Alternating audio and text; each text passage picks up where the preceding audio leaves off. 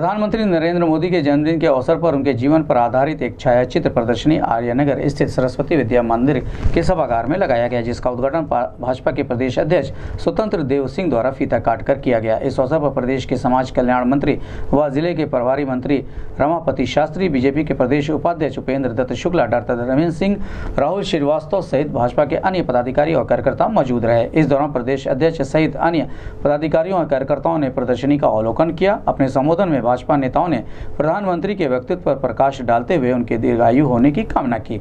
इस मौके पर गौरव गौरवपूर्णी से बात करते हुए भाजपा के प्रदेश अध्यक्ष स्वतंत्र देव सिंह ने कहा।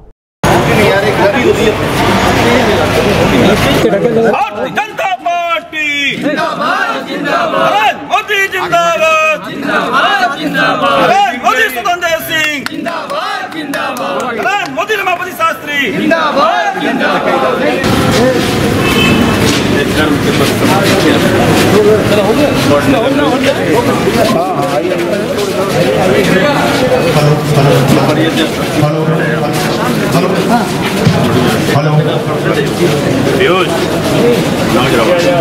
व्यक्तित्व के धनी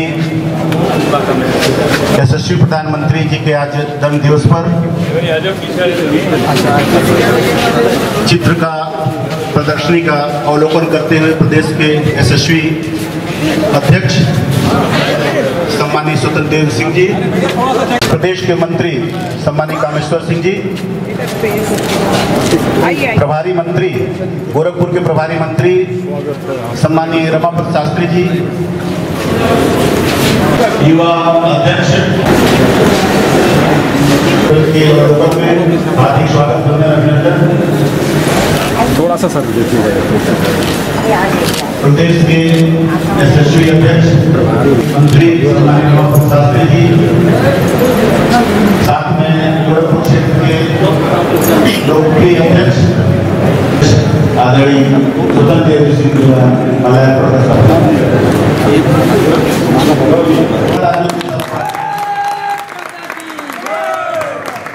प्रोफेसर अध्यक्ष डॉक्टर धर्मेंद्र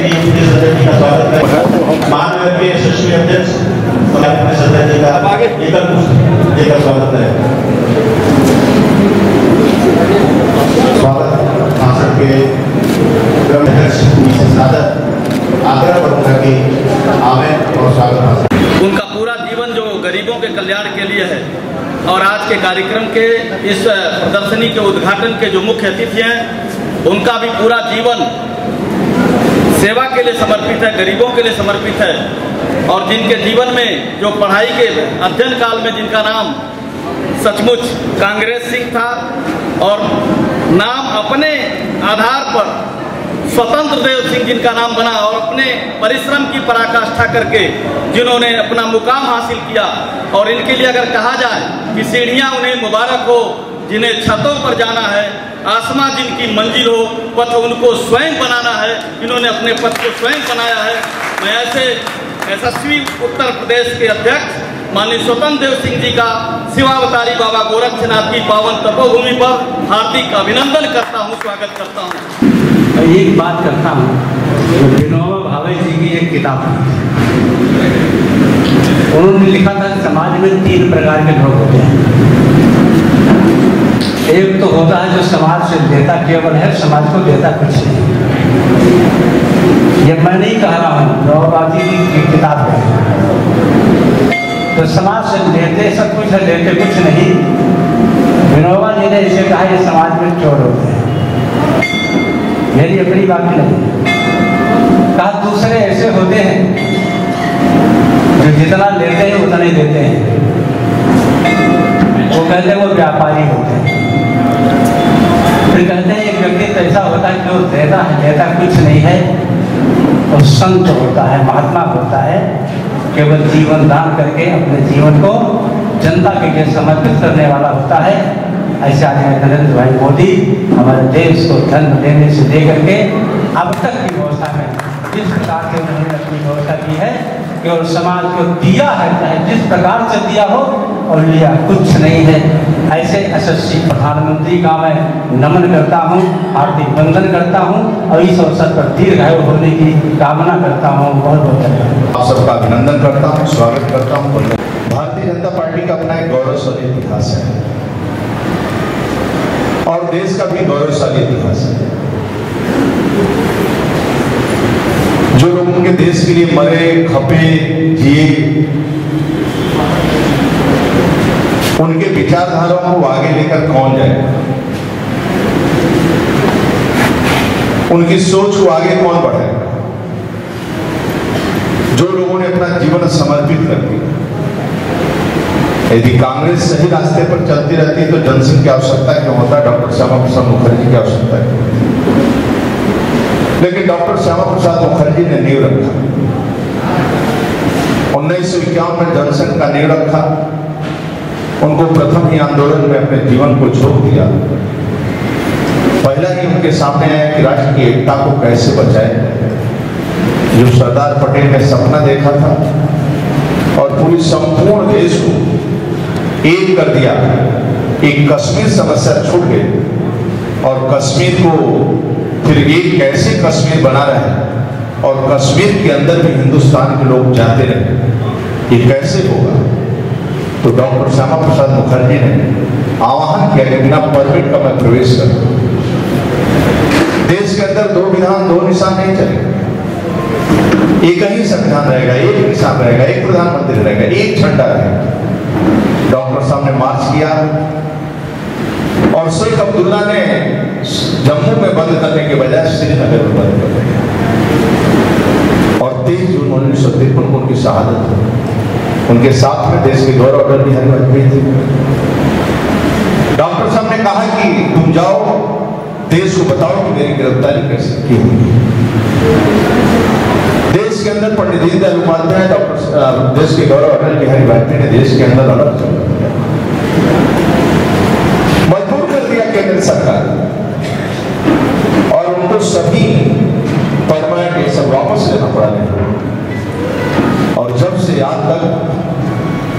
उस राज्य के अंदर माता जी का दर्शन करना, अमरनाथ का यात्रा करना, ये किसी की देन थी तो आपके जनसंघ के संस्थापन का श्यामा प्रसाद मुखर्जी ईश्वर भी चाहता है, जो करोड़ों लोगों का सपना था, करोड़ों लोगों की सोच थी वह सपना साकार कौन करेगा देश के गौरव अटल बिहारी वाजपेयी, पंडित दीनदयाल उपाध्याय की जब हत्या हुई, उन्होंने कहा, सूर्य ढल गया। तारों की रोशनी में मार्ग ढूंढना पड़ेगा। एक एक कदम बढ़ते हुए देश के गौरव अटल बिहारी वाजपेयी एक कवि का बेटा, एक गरीब ब्राह्मण परिवार में जन्म लेने वाला बेटा। चलता रहा किसी के सामने, झुका नहीं। राष्ट्र जो परंपरा जो थी राष्ट्र का विचारधारा था, जो उसका अलग जगाते हुए देश के अंदर चलते रहे। और बनने के बाद देश का सम्मान फोर लेन के बाद देखने को मुझे मिल रहा है के गौरव अटल बिहारी वाजपेयी। गौरव अटल बिहारी वाजपेयी प्रधानमंत्री नहीं बने बनते देश की कुर्सी पर मनमोहन सिंह बैठे। और बैठने के बाद 10 साल तक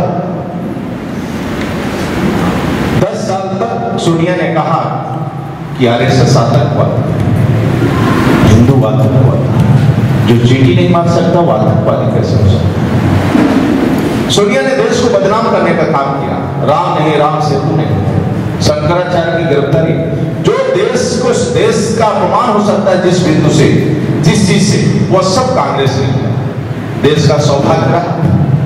एक चाय बेचने वाला, एक गरीब परिवार में जन्म लेने ऐसे साधारण परिवार में जन्म लेने वाला देश का प्रधानमंत्री भाई नरेंद्र मोदी। और बनते ही कल्पना करिए कि ऐसा देश का तकदीर बदलने वाला, प्रकृति भेजता है कभी कभी ईश्वर स्वयं भेजता है। कि जाओ तुम्हें काम करना मेरे पास का नहीं है? ये प्रकृति ही संचालन करती है व्यवस्था। ईश्वर ही संचालन करता है।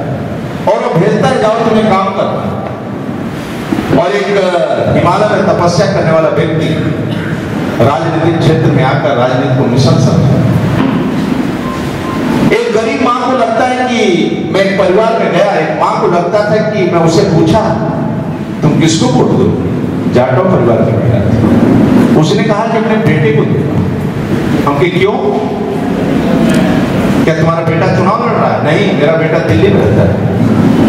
तब क्यों बेटे को चुना बोले, मेरे बेटे का सपना था कि माँ तुम्हें पक्का मकान बनाओ वो नहीं बनवा पाया मेरा बेटा।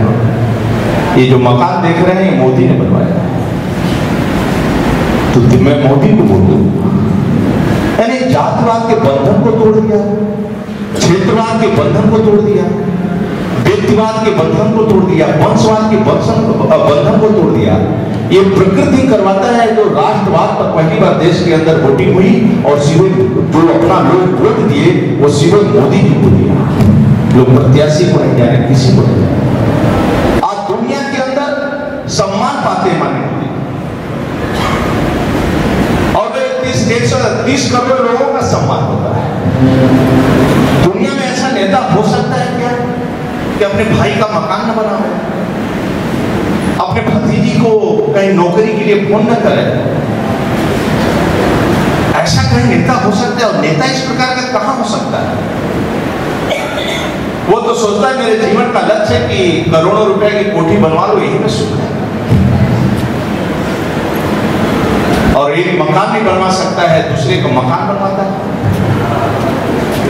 इसलिए देश को सम्मान कैसे मिलेगा, वो जीता है, इसी तरह जीवन उनका है, देश के सम्मान एक एक कदम हिंदुस्तान के किसी बेटी और बेटा का अपमान ना हो, वो सीना तान के चल सके, ऐसा मैं लीडर बनूं।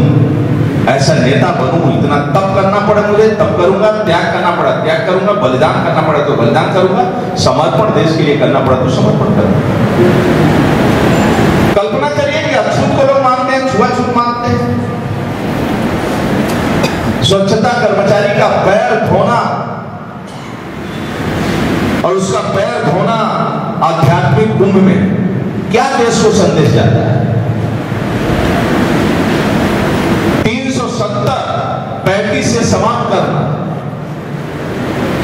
पूरा विश्व हिल गया, पूरा देश हिल गया, लेकिन एक भी घटना, एक चिड़ी की घटना कश्मीर के अंदर नहीं अलगाववाद आतंकवाद को समाप्त करना कोई मामूली बात है? पूरी दुनिया के अंदर शांति के मार्ग पर लोग आगे बढ़े, आपस में लड़े ना, झगड़े ना, पूरी दुनिया ये संदेश कोई शक्ति दे सकता। है जिसके ऊपर आप जैसे लोगों का इसने आशीर्वाद मिलता है, प्यार मिलता है, आप भी मंदिर में जाती होंगी और जाते होंगे तो एक बार ज़रूर प्रार्थना करते होंगे कि हमारे मोदी जी शक्तिशाली रहे ताकतवर रहे मेरा, मेरे परिवार का सदस्य के रूप में इसी तरह देश का काम ज़रूर एक बार ज़रूर करते होंगे, एक मांग करते होंगे कि नहीं, ऐसे लीडर, ऐसा नेता रहना चाहिए। आज अमेरिका, चाइना। मनोबल बढ़ाना इसरो के चेयरमैन का एक एक घटना उनके जीवन का क्या मैं बताऊँ? मैं बता नहीं सकता। मैं तो नज़दीक से देखा हूँ। जब तेरह की रैली थी तो उत्तर प्रदेश के अंदर सभी रैलियों का मैं प्रभारी था। उनके साथ हेलीकॉप्टर पर बैठ कर जाने का अवसर मिला। क्या अनुशासन उनके जीवन में? अपने जीवन पर अनुशासन क्या है लोगों को मिलते हैं अपॉइंटमेंट देते हैं तो कोई फॉर्मेलिटी नहीं है। कोई मिलने जाए, बेटी जाए, बेटा जाए, बड़ा जाए, छोटा जाए, जूनियर जाए, सीनियर जाए, अपनी कुर्सी से खड़े होते हैं, साइड में आकर फ़ोटो खिंचवाते हैं, फिर कुर्सी पर बैठते हैं, फिर पूछते हैं, क्या काम कैसे आए थे तुम लोग? और फिर हर सब्जेक्ट का ज्ञान है। मैं भी पहली बार गया तो उन्होंने कहा कि मैं बोला, परिवहन मंत्री बन गया। उन्होंने कहा अब तो महामंत्री से मंत्री हो गए। तो जो उनकी सोच और एक एक बच्चों से एक एक लोगों से प्यार करते हैं, आज के अवसर पर मैं आप सबके माध्यम से गोरखनाथ महाराज जी से बाकी सभी देवताओं के हिंदुस्तान के जितने भी ऋषि मुनि वृक्ष, पौधे, बेटी, बेटियाँ, जितने भी निवास करते हैं देश के अंदर सभी के अंदर प्रभु का अंश है। इसलिए सभी को के चरणों में बंधन करते ही प्रार्थना करूँगा कि आप सब भी मोदी जी के लिए दुआ मांगते रहिए, स्नेह देते रहिए, प्यार करते रहिए। कभी कभी धरती पर इस प्रकार का नेता जन्म लेता है और कभी कभी ही भेजता है ईश्वर। इस प्रकार के तपस्वियों को, इस प्रकार व्यक्तित्व को कभी कभी भेजता है। लोगों को मोहल्ले में प्यार नहीं मिलता है। लोगों को मोहल्ले में सम्मान नहीं मिलता है, घर में सम्मान नहीं मिलता है। और पूरी दुनिया जय जयकार करती है। किसकी? क्या सपना? यही तो सपना था हमारे क्रांतिकारियों का कि भारत माँ का जय हो। वंदे मातरम का जय हो। दुनिया के अंदर भारत माँ का जय जयकार हो, वंदे मातरम का जय जयकार हो। जय हो सर। कि कुछ भी हो जाए, कितना भी बड़ा हो जाए, कुछ भी हो जाए लेकिन छोटों से स्नेह करना माता पिता से स्नेह करना। घर में लगता है कि मेरे कारण आगे बढ़, किस बेटी का संस्कार, किस बेटी बेटा का माता पिता का पुण्य हम लोगों को मिल जाए, दुआ मिल जाए। यही सब है। पुनः मैं माने मोदी जी को शुभकामनाएँ देता हूँ। ईश्वर से प्रार्थना करता हूँ कि मेरी भी उन्हीं को लगे, क्योंकि देश की आवश्यकता उनको है। इसलिए हम सबका गौरवशाली बीजेपी का एक इतिहास रहा इसलिए आप सबके सामने मैं आग्रह किया। बहुत बहुत धन्यवाद। एक बार मेरे साथ ताली बजाकर थोड़ा मोदी मोदी मोदी मोदी मोदी बहुत बहुत धन्यवाद। बड़े पैमाने पर आए। आपने कष्ट किया, समय दिया। इसलिए मैं प्रदेश भारतीय जनता पार्टी की तरफ़ से, मैं स्वतंत्र स्वयं आप सबका वंदन करता हूँ। बेटियों के चरणों में अभिनंदन करता हूँ, स्वागत करता हूँ। बहुत की माननीय देश के गरीबों के जनसेवक, परम आदरणीय माननीय नरेंद्र मोदी जी का आज जन्मदिन है। जन्मदिन के अवसर पर सेवा सप्ताह 14 से 20 चल रहा है। उसी के तहत आज प्रदर्शनी का उद्घाटन हुआ है। हम सब भारतीय जनता पार्टी के उनके दीर्घायु होने की शुभकामनाएँ देता हूँ। हम सबका भी जीवन, उम्र जो है, माननीय मोदी जी के साथ लगे जिसके कारण देश के गरीबों की सेवा कर सकें। बहुत बहुत धन्यवाद।